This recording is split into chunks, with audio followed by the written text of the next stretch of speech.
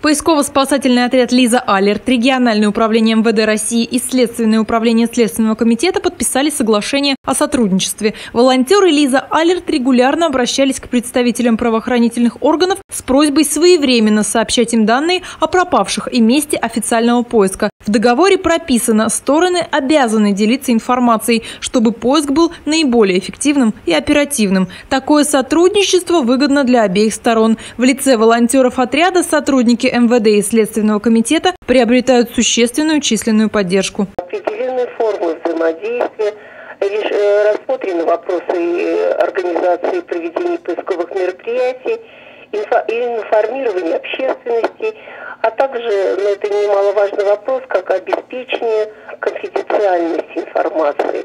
Э, с июля текущего года соглашение вступило в силу и действует.